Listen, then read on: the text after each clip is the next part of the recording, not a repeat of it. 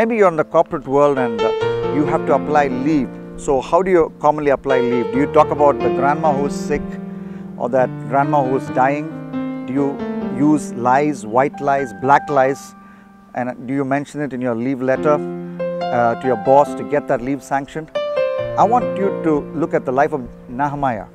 He had a government job in a foreign country, and this is how Nehemiah applied for leave.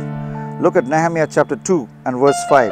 And I said to the king, I said to the boss, in other words, if it pleases the king, if your servant has found favor in your sight, then send me to Judah, to the city of my father's graves, that I might rebuild it. Look at the way Nehemiah applies for leave. He's not telling a lie, he's so respectful to his boss.